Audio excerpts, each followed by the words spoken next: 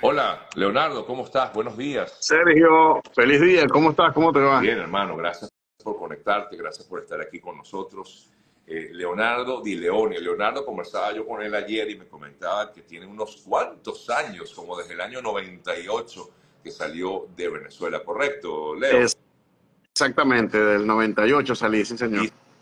Y saliste, bueno, como sabemos muchos otros, buscando nuevos horizontes y por toda esta situación difícil que se vivió en el país y sobre todo comenzando, tú fuiste un poquito, un poco visionario, digo yo, ¿no? Porque ya en el 98, ¿ah?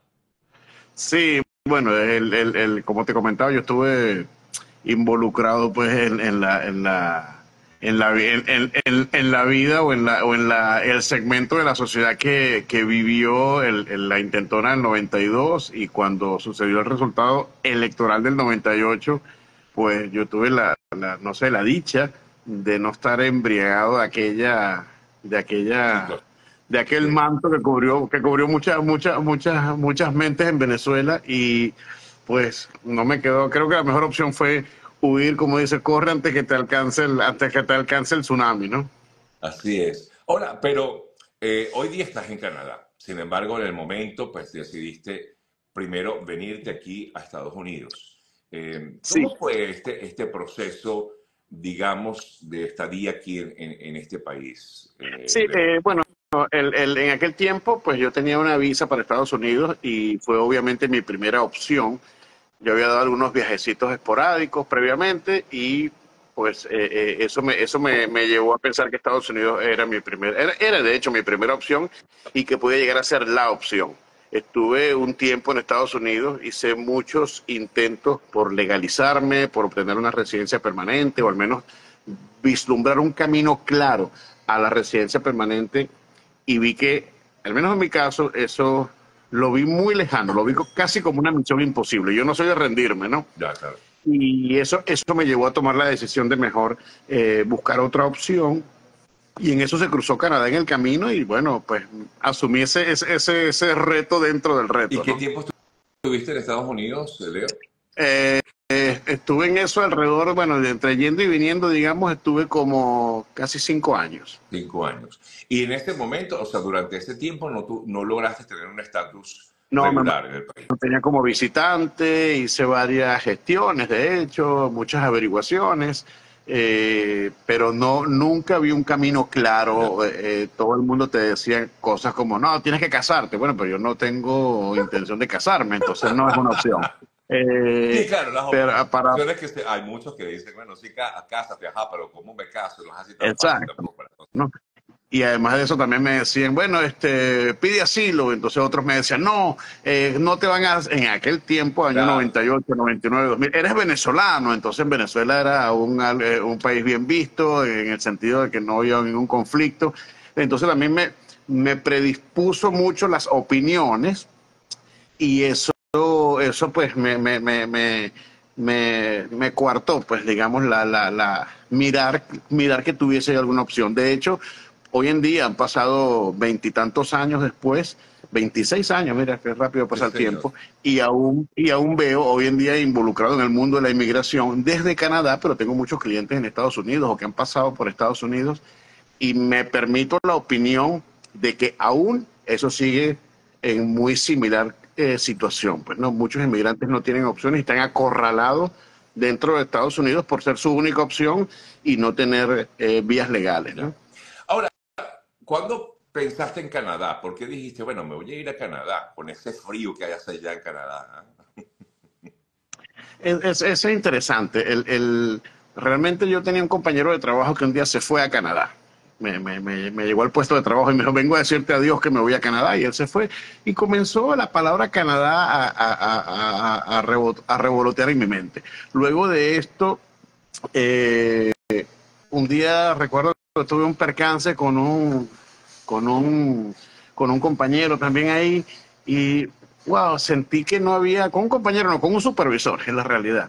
Y quise quejarme, me dijeron, no, acuérdate que tú eh, no eres nadie aquí. Y eso, eso me hizo sentir un poco, un poco, como, que me sacudió a mi realidad.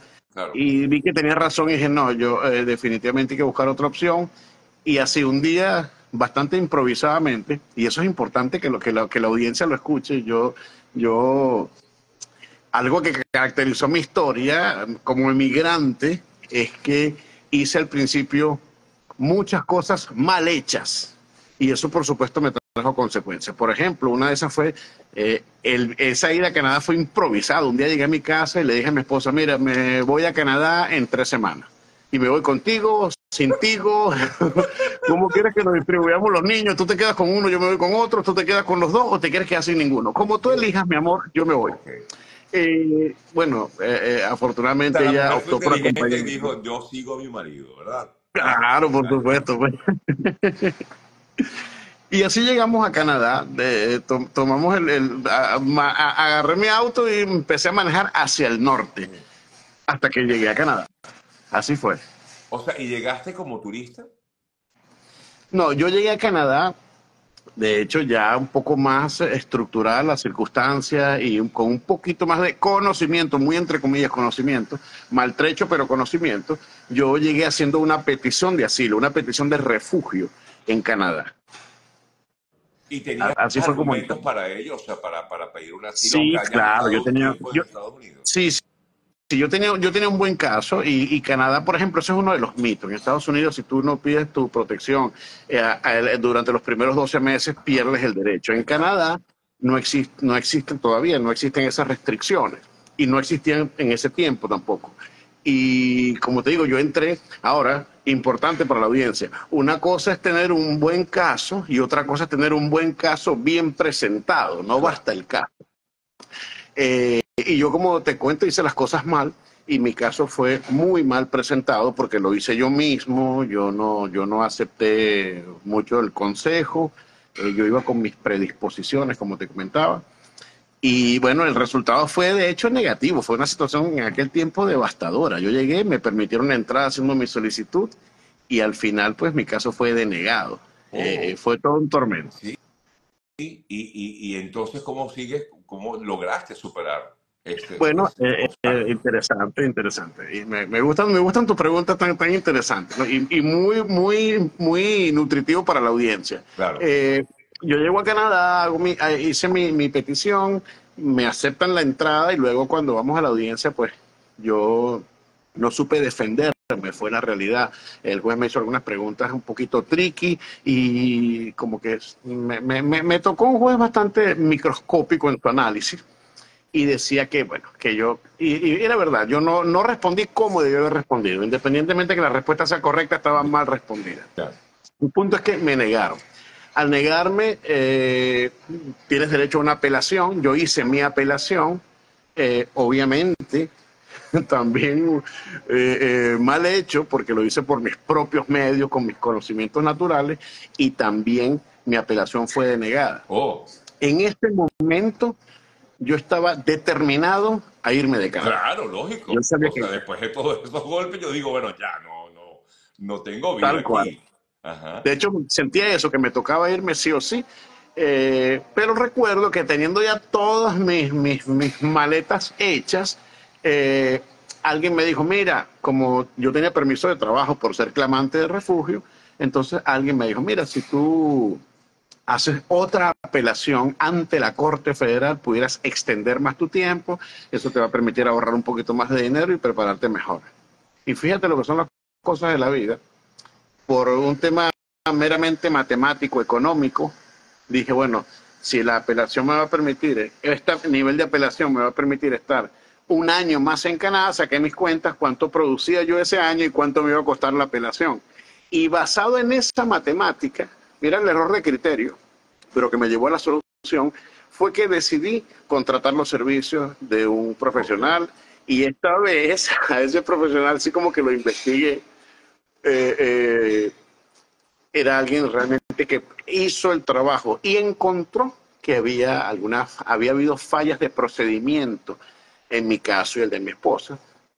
Y bueno, sería muy largo de contarte, pero gracias a esa, a esa, a esa habilidad y profesionalismo de mi representante de ese momento, logramos una reconsideración, después hicimos un proceso humanitario y obtuvimos la residencia permanente. O sea, Wow. ¿Y qué eh, tiempo te, te, tardó hacer todo esto? Eh, En todo esto duramos unos tres años. Tres años. Bueno, lo bueno es que tenías tu permiso de trabajo por haber eh, hecho esta primera solicitud, ¿correcto? Oh, sí, cuando, cuando uno pide protección, Canadá te da, de hecho, un estatus legal, te da cobertura médica y te da un permiso de trabajo abierto, te da derecho a la escolaridad para los niños. Eh, incluso si uno llega con calamidad económica, hasta te permite recibir una, una ayuda económica, digamos, de supervivencia hasta que tú consigas trabajo. Realmente eh, eh, Canadá ha sido un país muy generoso, no solo conmigo, yo lo viví y pues ha permitido que uno como inmigrante tenga la posibilidad y una gran posibilidad de desarrollarse eh, profesionalmente, eh, como persona, el idioma, o sea, te, Canadá te prepara y, o te permite preparar. Ahora, estamos hablando de hace por lo menos que 15 años, eh, o un poco más. 20, casi 20 años, 19 años. años. Ok. Ok, comienzas y empiezas a, trabajar en qué? ¿A qué te dedicas en ese momento? Eh, bueno, al inicio... claro, no es lo que estás haciendo hoy, sino en el momento que estabas... No, no, no, para nada, para nada. De hecho, al inicio, a ver, aquí, aquí, aquí juegan, juegan, juegan eh, papel protagónico la actitud, ¿okay? La actitud que uno tenga ante las situaciones y ante las cosas. Eh, yo nunca me he considerado ni, ni discriminado, ni atacado, ni humillado. Yo pienso que cada quien tiene su actitud. La mía puede ser positiva y la del otro puede ser no tan positiva, pero es su, su, su, su manera. Entonces, ¿qué pasa? Yo me di cuenta, primero analizo siempre, bueno, es, mi, mi, estilo, ¿qué tengo para ofrecerte? Y yo no tenía, realmente no tenía nada para ofrecer. Yo no sabía leer, no sabía escribir, no sabía hablar y no entendía instrucciones. Yo no hablaba inglés, mucho menos francés. Claro. Y pues, ¿qué me puedes ofrecer? Supongo que tú tienes un negocio, un restaurante, yo soy tu hermano y me quieres ayudar. ¿Qué puesto de trabajo me vas a dar? Pues a lavar los platos, será algo así, donde no tenga que hablar con nadie. Ni siquiera el idioma, ninguno de los dos idiomas, ¿no? Exacto. Y así fue el inicio. Entonces comenzamos pues en, en, este tipo de trabajo y pues, pues ese, ese tiempo se extendió estuvimos, qué sé yo, lavando los platos al principio, ya un poquito empezaba, ya las señas empezaban a tener mejor sentido y empecé entonces fue pasar a limpiar el piso y ahí me fui dando cuenta que yo tenía que enrolarme en los programas que me ofrecía Canadá, a los cuales yo mismo me había negado. O sea, no, yo no voy a estudiar, yo tengo que trabajar para poner pan en la mesa. Y estaba poniendo pan en la mesa, pero yo también quería una, una prosperidad pues, a nivel personal. Pues, y fue cuando eso me llevó a enrolarme en el, programa de idiomas. Primero, yo, nosotros llegamos a Quebec, que se predomina, donde predomina el francés, y eh, me enrolé en la escuela de francés. Estuvimos ahí cuatro años en, Montreal, en Quebec. Y salimos de ahí, pues, con, un francés aceptable. Eh, y eso me permitió pues, ir surgiendo poco a poco. Fue, sí fue muy paso a paso, pero bueno, así fuimos avanzando, ¿no? Yo después me mudé a la ciudad de Calgary, donde se habla más inglés en el oeste canadiense, y ya ahí pues ya venía con un poco ya de esta experiencia, ya venía mejor preparado, podía comunicarme un poco mejor también, tanto en inglés como en francés, y entonces bueno, ahí comenzamos a, subir, ya yo no era el que limpiaba los pisos, ahora era el supervisor del que limpiaba los pisos, y así fuimos avanzando, ¿no? Bien, o sea, claro, porque al final estaba ese deseo tuyo, ¿no? Y de tu familia, mira, yo quiero progresar, yo no me puedo quedar aquí nada más, ¿no? Yo tengo que seguir adelante.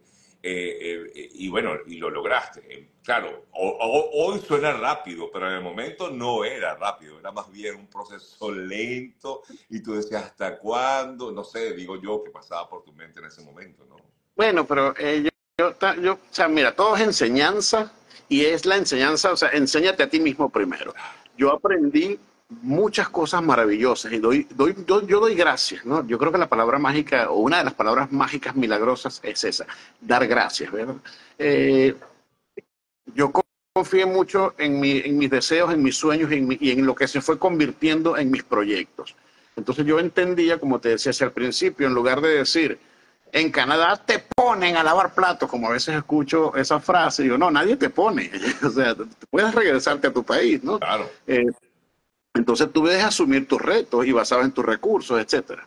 Entonces yo me di cuenta de que una, uno de los grandes aportes que me dio esa situación fue tener paciencia. tú ves que el, tigre, el león, va despacito, agazapadito, suave, dando pasos cuando va a, a cazar la cebra, ¿no? Entonces yo ya va, o sea, yo no puedo pretender si hoy no tengo ni un centavo y quiero comprarme un Mercedes-Benz último modelo, no puedo pretender que me lo voy a comprar mañana. Eso es irreal. Entonces, sí, sí, como tú dices, se suena rápido, pero realmente, como dijo Gardel, 20 años no es nada. Hoy me doy cuenta, ¿no? A mis 50 y algo, wow, que 20 años no es nada. Mis hijos ayer estaban en brazos y hoy ya se van de la casa. Exacto. Entonces, entonces este, lo mismo, pues, digamos que eh, eh, uno de los temas es vive y disfruta cada día eh, disfruta el journey, no te, no te preocupes por la meta. Trázate la meta, pero pues disfruta el viaje, porque no sabemos en qué momento también puede acabarse, ¿no? Así es. Así es. O sea, claves, digamos, en todo este proceso migratorio, en el caso tuyo y de muchos de nosotros también, es eso, actitud y por supuesto un poco lo que decías hace rato, paciencia, ¿no? Son palabras claves en todo este proceso, eh, Leo. Eh, Tal cual. Tú dices, bueno, que claro, todos queremos que se haga, porque somos así los seres humanos, ¿no?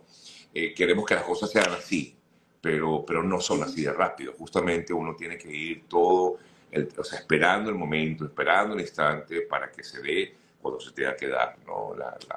lo, que tenga que dar. Sí, porque... ¿Cuándo, te llegó, ¿Cuándo crees tú que te llegó el momento, como quien dice, de, bueno, ya, ahora un nuevo camino? ¿Cuándo sientes o sentiste tú que, que, que eh, decidiste pues emprender ese nuevo camino que es el que te lleva a donde estás hoy? Bueno, cuando me di cuenta que la zona de confort no es la zona más confortable. Ese fue el momento, ese fue el punto de quiebre que me permitió entonces comenzar a dar saltos. No, ya dejé de dar pasos y comencé a dar saltos. Ya, ya no era un bebé que daba pasitos torpes, que requería ayuda y que tropezaba con todo ya mis pasos eran, eran firmes, ya yo eh, no tenía, de hecho en Canadá, y quiero hacer un, un, paréntesis interesante, nunca sentí que tenía problemas económicos, jamás, nunca, ni cuando estaba recién llegado, desempleado, sordomudo. Y, y hasta que fui, no sé, el profesional que, que, que soy hoy en día, jamás, y siempre lo digo, nunca faltó pan en mi mesa, y no solamente el pan, nunca faltó nada. Siempre, siempre, y eso es otra bondad que tiene Canadá, te da la oportunidad. Ahora, uno hace lo que a uno le parece con esa oportunidad. Eh, entonces, sí, yo al principio sentía mucha inseguridad, pero me di cuenta que te acostumbras a algo, tomas conocimiento de tu entorno y empiezas a sentirte cómodo, pero eso no es la verdadera comodidad. Eh, y yo comencé a identificar eso, esas etapas, ¿no? Me comencé a dar cuenta que ya va, pero yo aquí estoy muy tranquilo, estoy muy cómodo. Eh, pero también estoy limitado. Entonces me di cuenta que cuando yo daba un paso, la, comodidad se rompía, pero la incomodidad que, llegaba me, daba la necesidad de seguir adelante porque también yo veía los frutos. Entonces ya va, si, si yo iba y trabajaba cinco horas diarias y ganaba X cantidad de dinero y con eso yo podía comer y podía echar gasolina a mi auto, en ese momento era suficiente porque yo antes de eso no tenía nada. Claro. Pero después dije, ya va, yo quiero echar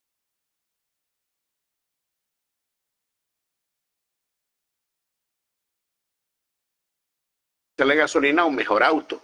Y quiero, qué sé yo, comer mejor comida y quiero salir con mi familia a un restaurante. Entonces eso solo lo, lo lograba trabajando un poquito más. O sea, entonces rompí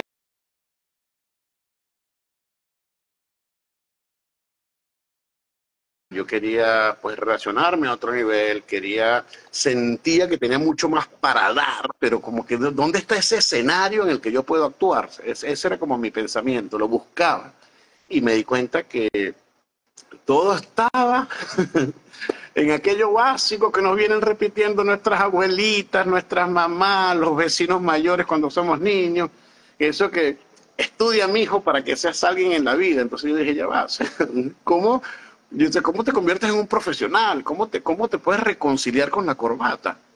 Y entonces un día recuerdo que me cortaron un contrato de trabajo que, que, había y eso pasaba con cierta frecuencia, ¿no? Porque en Norteamérica, sabes, la estabilidad, la estabilidad laboral o profesional no existe. Siempre te contratan por tanto tiempo y el día menos pensado te dicen, mira, hasta aquí no tengo más trabajo para ti o la razón que sea, se acabó el contrato y no te renuevan y tú te quedas otra vez cesante. Bueno.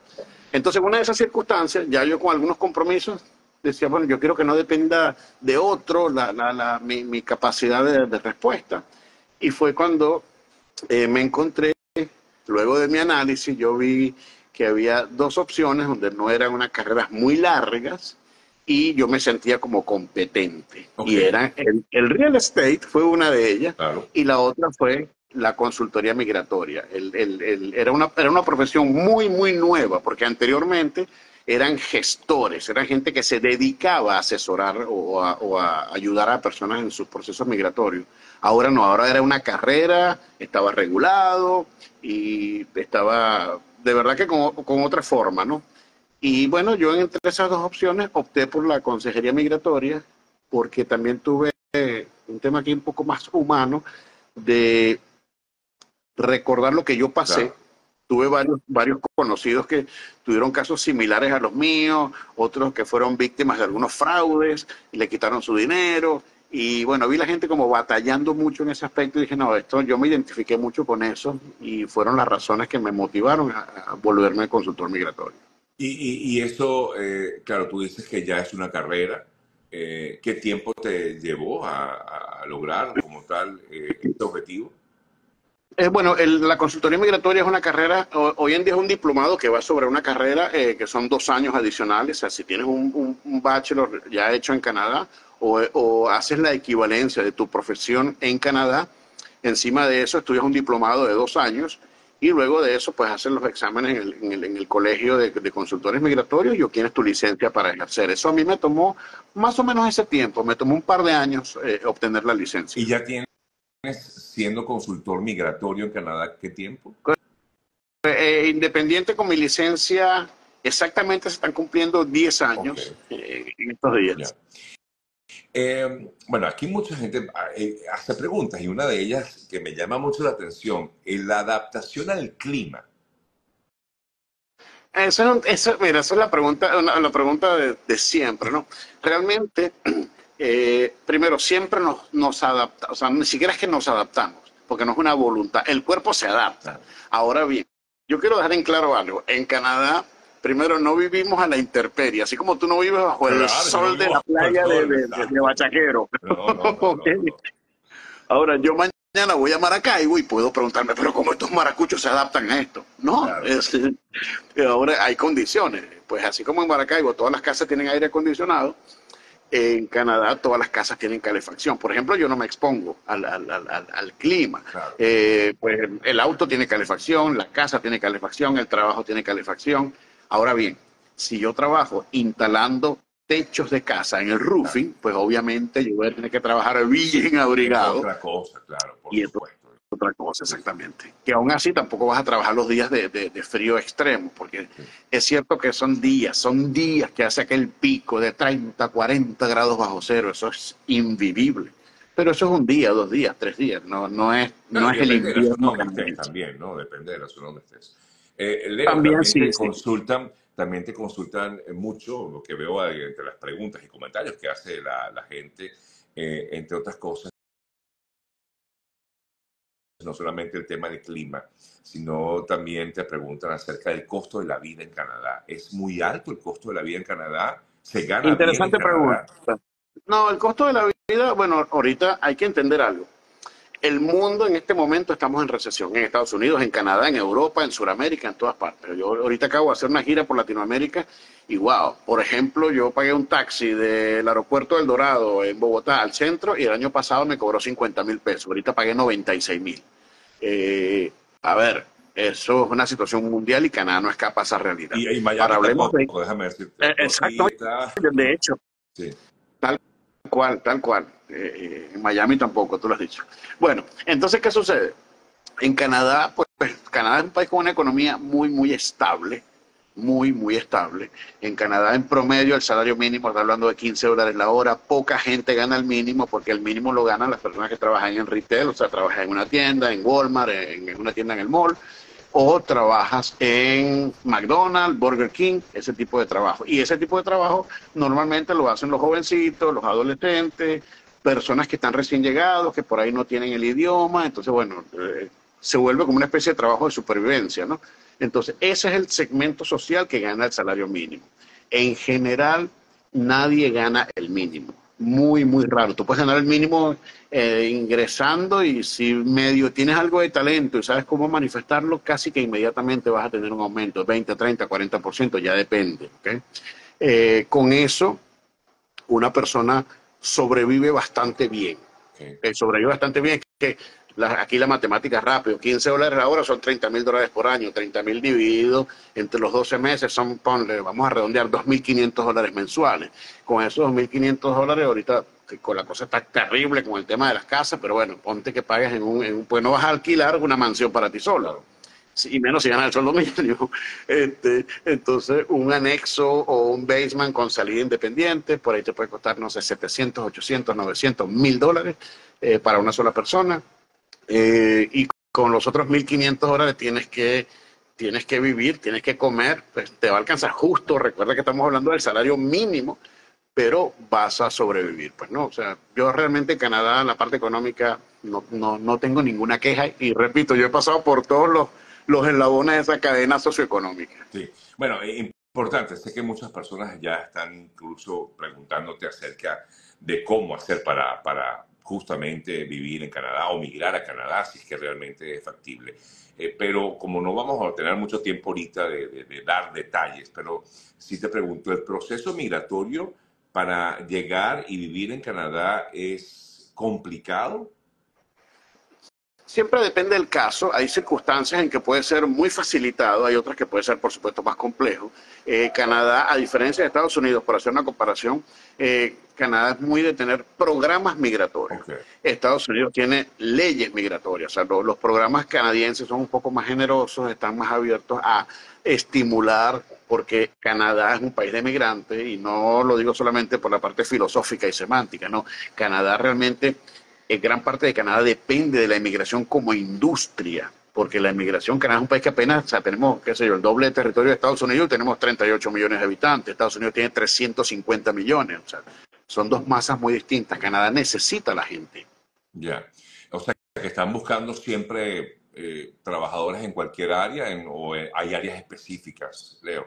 Bueno, y aquí, voy a hablar un poquito más en el léxico como el correcto, el léxico legal, por decirlo así, cuidándonos del detalle. No me gusta decir está buscando, porque Canadá no te está buscando. Eso sí, Canadá tiene oportunidades y Canadá tiene eh, ofertas y sí las tiene, definitivamente sí, para estudiar, para venir a vivir, para venir a trabajar, eh, para personas que requieren protección, eh, para personas que tienen familiares en Canadá. O sea, hay, una gama de opciones y cada perfil pues tiene la posibilidad de entrar en uno u otro camino. Así es, Y ya hay personas que me preguntan acerca de cómo contactarlos. Miren, directamente con arroba Dileone Group, es la cuenta de Instagram que ellos manejan, que es la que maneja el propio Leo eh, y todo su equipo. Y por supuesto entrar a la página de lgcanadá.com, eh, porque allí justamente les van a dar esa asesoría, que creo que es justamente lo que ustedes quieren ofrecer, ¿correcto? Sí.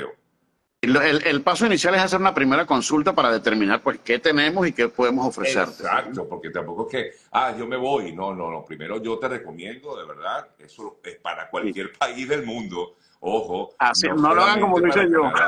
Eh, primero averigua bien cómo es la movida, cómo es todo, esta, todo esto. Te voy a dar de nuevo la página de Dileone Group. Es DLG, de Dileone Group, dlgcanadá.com.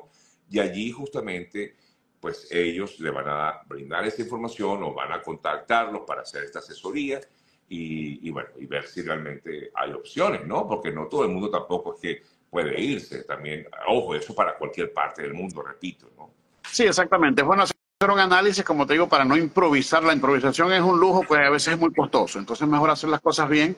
Eh, incluso te, te, propongo que, no sé, armemos algo para volvernos a reunir en un futuro, porque veo que veo que nos estamos quedando cortos, ¿no? No, sí, nos estamos quedando cortos y aquí hay preguntas de yo soy enfermera, ¿qué hago? Sí, así mismo es, Julie, que estás escribiendo en la página blgcanadá.com eh, y bueno, es un poco lo que ha comentado nuestro invitado Leonardo de Leone, que justamente eh, pues, eh, creó esta compañía y que ha ayudado a muchas personas ya hoy día, ¿no, Leo? Sí, así es. Realmente es una, es una, es una, es una apasionante vocación esto de, hoy en día, ya varios años después, poder decir cambiamos vida, eh, eh, nos ocupamos de, nuestro, de nuestros clientes y de honrar esa confianza que muchísima gente pone en nosotros. Eh, Sergio, de verdad que quiero, bueno, estoy maravillado y estoy súper agradecido con esta oportunidad que, me has dado, pues, de participar en tu programa. Y, estoy encantado si me haces otra invitación. No, claro que sí. Seguimos en contacto, por supuesto. de hecho, bueno, ya hoy día, pues, Leone Group se ha, unido a mi grupo de sponsors, cosas que agradezco. Y justamente lo hago porque creo que, bueno, que es una excelente opción de poder brindarle ayuda a otras personas que han visto quizás de pronto en Canadá una oportunidad, o por lo menos conocer realmente cómo es la movida también, ¿no? De, de, ver si es factible eh, Canadá estar allí en el, digamos, en, en el radar. Mira, ¿por qué no? Puede ser. Y justamente la idea es que conversemos siempre con, con, con León, Leonardo, por lo menos una vez al mes, para aclarar algunas dudas, preguntas. Ya aquí hay, mire, que si hay oportunidades para camioneros, no lo sé, me imagino que sí. No sé. Sí, sí, mira, todos, todos, todos tenemos una oportunidad en Canadá. Es como digo, unos la tienen más facilitada, otros un poquito más compleja, unos tienen un poquito más exigida, otros la tienen como la puerta abierta. Hoy, justamente yo llegué hoy, estaban buscando el peluquero que yo soy.